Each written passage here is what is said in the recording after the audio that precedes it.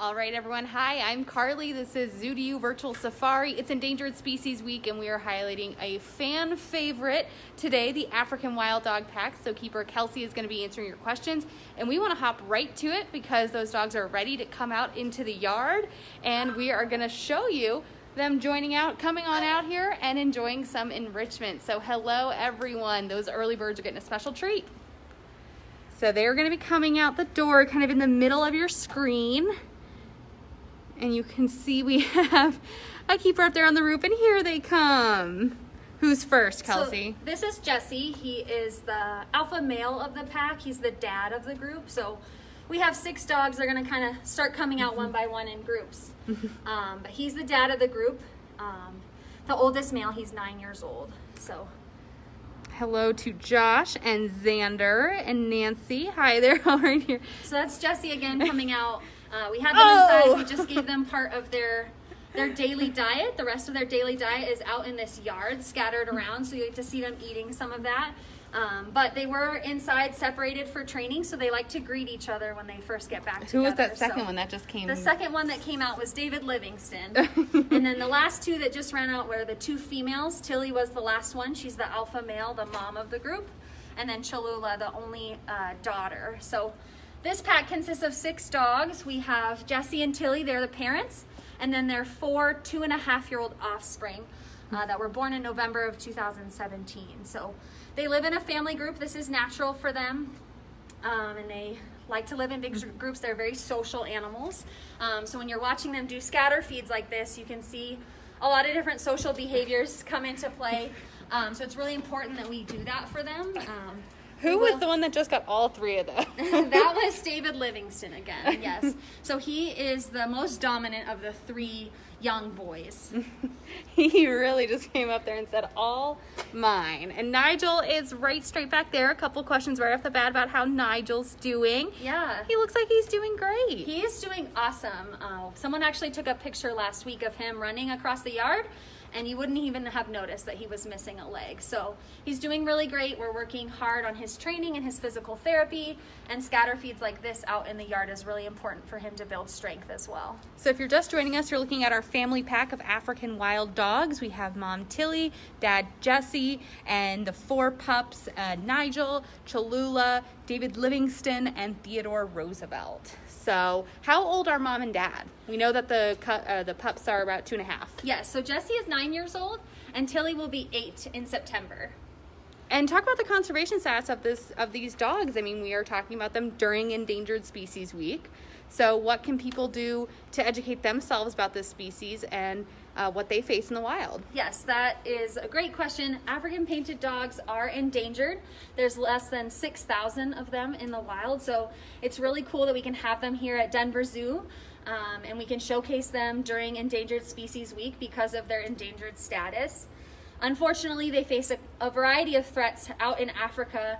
Um, hunting and retaliatory killings from farmers as they often um, will be blamed for livestock that are predated on. Um, they also are susceptible to disease since they live in these large packs and they're very close with each other, always in contact with the members of their pack. Disease can spread quickly uh, through a pack of painted dogs. Um, and then also habitat loss. They are a roaming species. They spend a ton of time moving. They may travel up to 30 miles in a day to to prey on food and roam around. Um, they're not always sleeping in the same spot every night, so it's important for them to have space. Um, so when they're when that habitat is getting smaller, and then the predators like lions and hyenas are also competing for that space, um, it leads to that competition, and that is a couple of the reasons they are endangered. Very good. So we have some questions coming in. Dominic was wondering what was on the windows that Livingston got there. Great question. So that is part of their daily diet. Five days a week, they're going to get a ground beef diet. It's human grade, the same type of beef you would buy at the grocery store if you were making burgers or chili. We do add some supplement to it to get some supplements because naturally they would be eating muscle meat and they would be eating tendons and also fur and skin and getting a lot of those organs that we don't eat. Um, so that was scattered around on in the yard, and then we also fed them some of that inside as well. Um, Donna's wondering what their average lifespan is. Yes, these guys are one of the shorter lived species in Predator Ridge. Their average lifespan is seven to 10 years. Seven to 10 years. And then Nate says, Why are they painted? Well, you can see there, Nate, they just kind of look like someone painted some nice black, white, you know, sandy colored spots on them. They're very Yes. beautiful. And that is how we tell them apart. So everyone's coat is different, and specifically, we generally look at the white parts of their coat when we're identifying the individuals in the pack, or if you were ident- identifying individuals in the wild. And that white is also how you can tell them from hyenas. A lot of people see African painted dogs and they see those big ears and they assume that they are baby hyenas or related to hyenas, uh, but they're actually very different. And the easiest way to tell them apart is by that white. Um, specifically on the tip of their tail, they always have that white fur as well. So let's quickly talk about Nigel. A lot of our regular zoo visitors and guests, they know about Nigel's story, but we've created a whole new audience here on Virtual Safari. So give everyone a refresher on what happened to Nigel. Yes, so Nigel um, was the runt in the litter, but he was also born with some birth defects. He essentially did not have a hip socket, so he had a severe form of hip dysplasia. And very early on, we noticed that he was walking differently than the other pups. He wasn't using that back leg. So we got a team together of veterinarians, zookeepers, physical therapists, um, and assessed him. And we decided that the best decision at four months old was to amputate that leg. Um, he wasn't using it, it seemed to be causing pain. We didn't want it to cause secondary issues. Um, so we amputated it. You'll see he just has um, a partial leg there. Uh, he uses that for balance and for protection.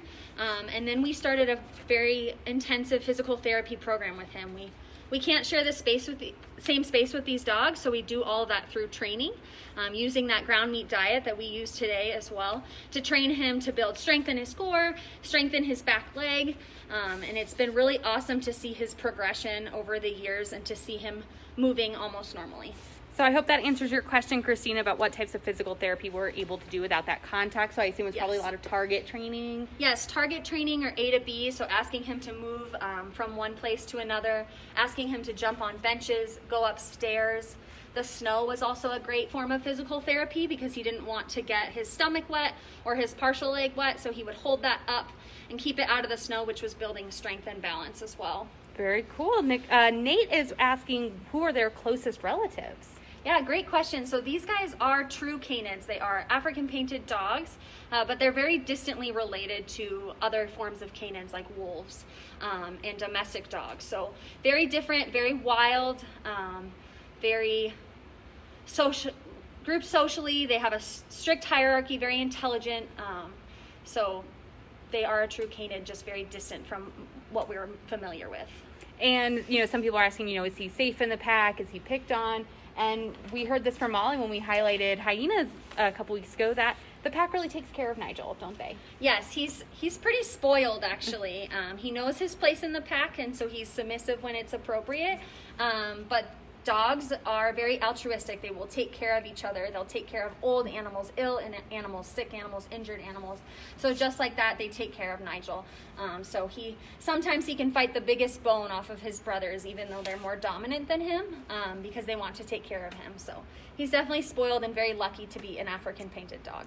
So they have that kind of human grade ground beef in their diet. What else is in their diet? So we also feed them bones and carcass. So every Tuesday is generally carcass day. So we would feed them something like rabbit or guinea pig or quail as some of their favorites. And then on Fridays we do a bone day. So this is essentially a fast day, which would mimic how they would fast and not eat every single day in the wild. They might catch a huge prey item, gorge themselves, and then kind of sleep it off for a couple days and fast. Uh, so that will, that's what we do with Friday bone day. Those bones don't have a lot of meat on them but they are great for their teeth, great for digestion, and then another good opportunity for social feeding as well. How would you describe the social dynamics of our pack? Uh, great question. So these guys have a pretty strict hierarchy. We've got the females will have a hierarchy. So Tilly, uh, for the most part, is dominant to her daughter Cholula. Cholula's getting to that age where she's definitely starting to challenge Tilly. Um, and then the boys will have their hierarchy as well. So David Livingston, the one that got all the meat right up front, he's definitely the most dominant of his brothers. And then Theodore Roosevelt and Nigel, and then Jesse is uh, the dad of the group. So the, the pups are getting to a age where they're starting to challenge their parents, see what they can get away with. Um, the parents are probably getting a little tired of it, letting things go more than they should. Um, so it's definitely interesting to watch uh, their behavior and their social dynamics for sure. Christina's wondering um, what they prey on in the wild. Yeah, great question. These guys, um, they'll hunt impala, wildebeest, warthogs. Um, most most often, they're going to be hunting smaller antelope. Uh, impala is probably most common. The largest thing they might get is a wildebeest. Packs can get anywhere from two animals to 20 animals. So if you've got 20 dogs together, they can definitely take down some larger prey items for sure. Oh, Rory has a good question about their names. He's picked up on the kind of Theodore Roosevelt, David Livingston. Yes. What was the um, kind of pattern behind naming our boy pups? Yes, the boys are all named um, after adventurers and Explorers. explorers. Uh, so we've got Theodore Roosevelt, David Livingston, and then Nigel Thornberry. So kind of a wide range of explorers, adventurers, outdoor people, um, people that have done a lot for wildlife. So that was the theme kind of with the three boys. You need to be a millennial kid in like the 90s to know Nigel Thornberry, but he was a great explorer. And he lo- when, and we love them. So, um, Jeanette's wondering: Do they bark like dogs, howl like wolves? What are their vocalizations? Yeah, great question. What we hear the most is some food begging. So it's a really high pitched, continuous noise. It's pretty loud. Um, they do it a lot when they're excited. Um, when they greet, they also do another vocalization. Sounds a little bit different, but a lot of them are pretty high pitched, uh, kind of just in different patterns. And then uh, Jesse, the male, he'll also sing, um, which I don't know who decided to call it singing because it's not very pleasant. But they have tons of different vocalizations. A lot are more high pitched, but they will get those like lower um, defensive noises as well, especially if they're trying to threaten the lions um, or protect food. Yeah, we have one of those kind of things outside of the habitat where you can press a button and hear what they sound like. Yes. And, you know, comment if you want to hear my impression of it because it's pretty good. Uh, Thatcher wants to know if they can swim. They have a little shallow pool here, but are they big swimmers? Uh, not big swimmers, but they love to wade in the pool um, to cool off. Jesse, especially, he actually is wet from from laying in the pool earlier, so they love to just lay in there and cool off. Jesse probably the loves it the most. Oh, Rory says, "Where is Meriwether Meriwether Lewis?" Well, sorry, we just we didn't have enough pups to name all the explorers after them, and then Cholula just got a hot sauce name.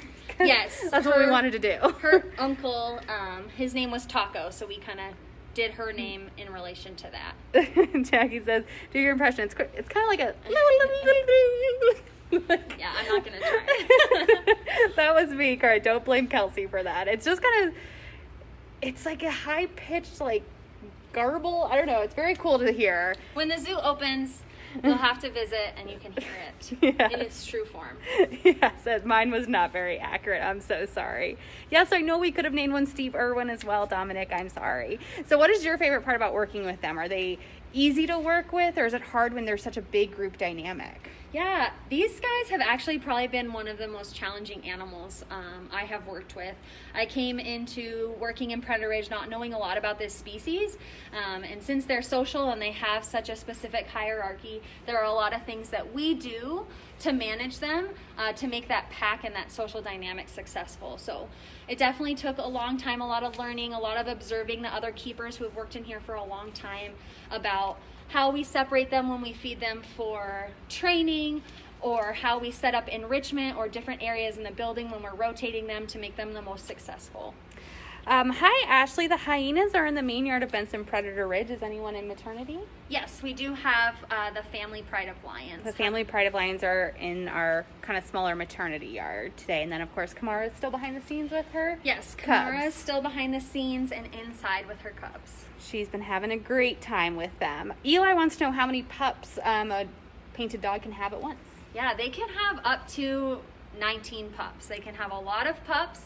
Um, but a lot of times they're having a lot of pups, but not all of them will survive to um, sub adulthood. So we have four in this pack. Um, I think 19 would be a little crazy. So I think Whew. Tilly is lucky, and we're lucky too that she didn't have as many as they can. Yes, Annie's 19. She's a former team volunteer. Hi, Annie. She's wondering how they're adjusting to the lack of guests.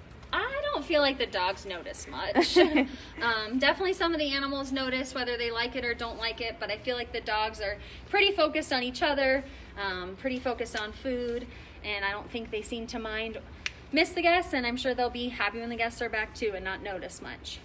Uh, Lucinda's wondering if we have any babies in the future. We do not have any babies in the future or plan to plans to breed these African painted dogs. Tilly is um, older in age, and we've still got um, some social dynamics we're working through with the current pack, uh, so we're currently not planning for that. And they look pretty tired out. They, you know, they came, they ran around, got their food and forage, and now they're just zonked out. Is that pretty typical for a painted dog? Pretty typical. yep, they're gonna work hard, run around, get pretty pretty good exercise searching for that food, and then they're gonna all take a snooze in the sun or, or in the shade. Yes. Jesse likes the shade more than the sun, but everyone else seems to be choosing a sunny spot today. Nigel cannot seem to pick where he wants to relax today. I've seen the pool, I've seen the tub, I, we've seen right here in the shade, and now he's plopped down in the grass. So Yes, he definitely really likes that tub. I think sometimes it can get pretty warm with the sun reflecting off of it, so he wants to get in there and then maybe he gets a little warm. Uh, hi, Dominic. We do carcass feedings with the dogs. That's usually Tuesday. And then, Jessica, we kind of explained up earlier in the comments about what happened with Nigel, but essentially he had a severe hip injury or just kind of birth defect where he didn't really have a hip socket, and we just thought it was best for his quality of life to amputate that hind leg. Um, let's see. Luke is wondering if they like the snow. We mentioned snow can be good physical therapy for Nigel, so sometimes they're out in it, aren't they? Yeah, they don't definitely don't seem to mind the snow. When it snows, we do get out into the habitats and shovel paths for the animals so they don't have to walk through the snow if they don't want to. Um, the dogs definitely ignore the paths and do their own thing. Uh, so they definitely don't mind it. Um, it's different for them. A lot of times in Colorado, we'll have snow on the ground, but it'll be really sunny out. Um, so it's not too cold for them either. But we do have heated rocks in the exhibit as well as some radiant heaters as well. So if it does get a little bit cold, we can give them the choice to either come inside or enjoy outside space, but with more of a controlled temperature. Who's this right up here with us? This is Cholula. This is Cholula, our one female of the two and a half year olds. Lorelai's seven. She wants to know is their fur that color to help them camouflage? Yeah, they camouflage pretty well. Um, surprisingly, a lot of different coat patterns of animals that don't seem like they would camouflage do blend in um, with shadows of um, different branches or trees in a lightly wooded area, as well as the tall grass. That's a lot of times that kind of that brownish color. Animals will blend in pretty well. Josh is wondering how bad they shed. These guys don't shed too much. I feel like the lions just shed so much from their manes that no one else I even really noticed their hair anywhere. how do they kind of bathe themselves? Just sort of like a domestic dog would, just by kind of licking? Yes, they groom themselves. Um, they'll groom each other a little bit and then also kind of laying in the pool as well. But they're definitely probably not nearly as clean as a domestic dog. They're pretty pretty greasy too. So yeah, I've, I've smelled a couple of these guys. It's not pleasant. They don't mind. Here's a little puppy pile over there. Who's who's snuggling over there? That's Theodore Roosevelt and David Livingston. Oh, little brother pile. Mm, and then behind them are Tilly and Jesse, the parents. They are often seen sleeping together. And then Nigel chose this shady spot over here while Cholula's kind of fifth time's the charm. Nigel sniffing out for whatever's left over. Uh, Sheila says she'll be coming from Cheyenne when we reopen. We cannot wait for that. Uh, Jean says, where are they native from? These guys are found um, in Africa, Botswana, Zimbabwe, Namibia, Tanzania, Mozambique, different countries. In Africa. And Nate asks, what do they like for enrichment? Uh, definitely food. Um, whether it's carcass or bones or scatter feeds like this, this is probably their favorite anything uh, food related. Uh, but they also like things that they can lay in. So whether it's paper or cardboard boxes or shavings, uh, they like to kind of create beds and then they'll split off and sleep in different groups like they're doing now. Oh, and finally Nigel joined the rest of his siblings. Nigel couldn't resist being a part of this little uh, slumber pack party over here. I think that's just adorable. So they don't seem to really be into the enrichment items the way the hyenas were, or the lions are with like gourds and toys more like yeah they'll play with stuff stuff that they can pick up a lot of the bigger toys that the lions and the hyenas like to pick up and play with um, are kind of big for these guys that they just maybe push them around on the ground um, But we do have some small balls and a metal bowl in the pool, things like that. We try and do that are different. They like sticks. Um, we'll give them bedding from other animals, so it's nice and stinky, and often they'll go to the bathroom on it.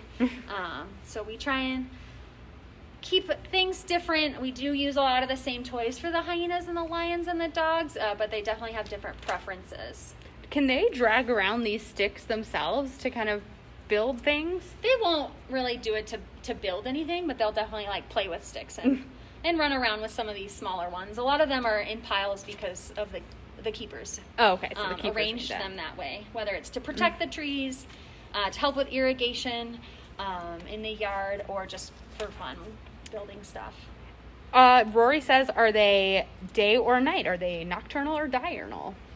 They are more diurnal, so a lot of um, animals actually are nocturnal. I feel like here at the zoo and that I work with, but these are, are going to be awake most of the day, and hunting during the day, um, but also lots of naps because they Yes. wear themselves out um, with with hunting and running around for scatter feeds. Um, so lots of naps throughout the days. They're just snoozy right now, but they're not nocturnal. Uh, Autumn's wondering, are they pretty strong and do they have that same kind of destructive tendencies that the hyena does? Definitely not as strong as the hyenas, but still extremely strong and powerful. Um, I mean, packs of dogs are bringing down prey items as large as wildebeest. You can picture how big those are compared to a dog. Um, and they still have to be strong and rely on their jaw to bring those animals down. They don't have claws like lions can grab on with. Um, so they're mostly going to be running animals to exhaustion. They're super strong runners, um, but then they still have to have that strength as well. Just not quite as strong as destructive as the hyenas are for sure. What do you think their best sense is? They have pretty big ears. They seem to be able to sniff out their food pretty quickly. Yeah, I think um, it's pretty obvious they're really good listeners. They've got really big ears, big satellite ears um, to listen to, but also great, great um, scent and eyesight as well. I think a painted dog would make a really great Halloween costume. You could have really That big would. ears and have really pretty spots and like a white tipped tail. Yep. Parents, you're welcome. Just me thinking of your kid's Halloween costume.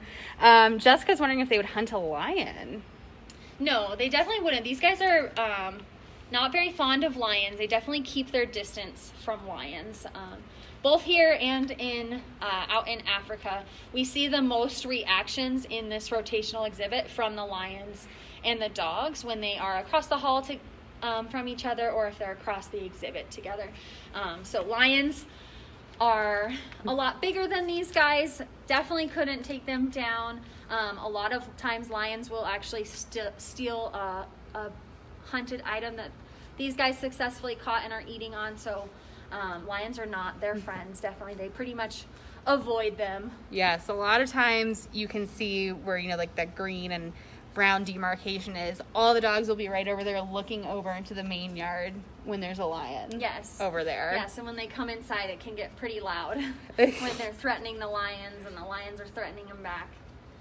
Um, Delena's wondering, are they a female dominated society like hyenas? Yeah, great question. Um, the females and the males, for the most part, most part, kind of have their own hierarchy within the pack, um, but definitely that alpha female is going to be the leader of the pack. Um, so, somewhat female dominant, I guess, um, but for the most part, it's kind of split up, and you've got two different situations going on. Hi, Anna. We're just focusing on the wild dogs today because it's Endangered Species Week, and we wanted to give these guys their own highlight because they're an endangered species, and we wanted to feature them. So we'll be back with another animal tomorrow. Um, oh, questions about how, what their fur feels like. Yeah, um, kind of coarse um, and pretty greasy. I mean, not not, Not a soft. stuffed animal. Yeah, not soft like like your pet dogs. Um, they don't clean up as much and get baths like dogs do. just if they want to go for a swim. So I know. I think a lot of our animals have the impression that they look a lot softer than they would. Yes. than they actually are.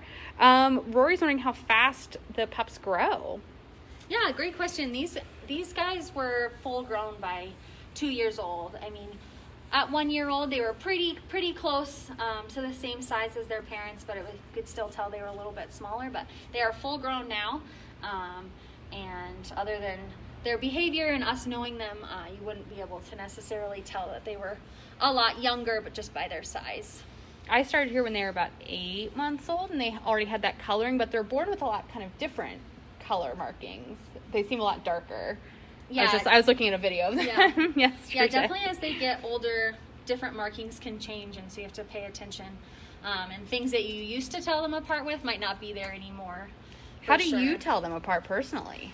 Uh, different things. A lot of times I'm looking at their ears and then that white part of their coat for sure. Um, so uh, Jesse and Tilly, I feel like just looking at their face, they just look a little bit older. Um, nothing super specific about them that I pick up on. Uh, but for the pups, Cholula, she's got a really dark face and then kind of a white little colored mustache. That's she's the one coming up right now. Um, and then I'll look at the ears for David Livingston and Theodore Roosevelt. Teddy's got a, a notch out of his left ear. Um, that's pretty easy to use to identify him. Oh, look, she was sort of half basking, half getting in the shade. They just can't decide today, these little pups. Oh, oh that's a nice pillow. now she says, no, no, you're my pillow, Nigel. Yes. um, is the pond slash puddle drinking hole or is it a drinking hole or is it more of like a relaxing cool off? Whatever they want. They have other drinkers in the yard that they can drink from, uh, but often they're doing it out of the out of the pool, and so we make sure we're cleaning that frequently. And then Jesse uses a, a lot to kind of wade and cool off and maybe to clean off, but I don't feel like he gets very clean. Nate's wondering how long they'll stay with mom in the wild. Uh, it depends. Yeah, related males and related females will often stick together. Um, but there are times where males and females will disperse off and uh, start their own pack or join other packs. Um, so it's really pretty variable depending on how large the pack is, how successful they are at hunting, um, other variables like predators in the area. Uh, so there's kind of a lot that goes into that. Brother and sister. Well, we'll take a few more questions, everyone. You guys have been asking some great ones today. What do you think we can do from our homes uh, to help protect this species. Yeah, absolutely. Um, I think today we really want to highlight that everything you do has an impact on wildlife, especially when you're spending time outdoors. So we don't live in the same area as African painted dogs, but there are tons of animals that are endangered and super important uh, to nature that we do live around. So whether we're out walking or on a trail, um, there's simple things that we can do to keep those endangered species safe, um, whether we're staying a safe distance from wildlife, cleaning up after ourselves, staying on designated trails, just remembering that we're a visitor in this outdoor space and this is their home. Yeah. Well, let's take one more little check in, a little inventory of our pups here. This is Nigel and Cholula. Yes. There's Nigel. like these are the groups we often see them sleeping in. Tilly and Jesse are often together. Uh, David Livingston and Theodore Roosevelt are usually together, and then Nigel and Cholula either off on their own or kind of with their brothers. Yeah, so mom and dad are up there. Who's behind the tree? Jesse, and then Tilly's in the shade. Jesse's kind of behind that tree, and then Tilly's enjoying some shade, and all of her kids are right over here and they're having such a great time. And we've had such a great time with you all today. We appreciate you joining us, asking great questions. Nate has one more. He wants to know if they're good climbers.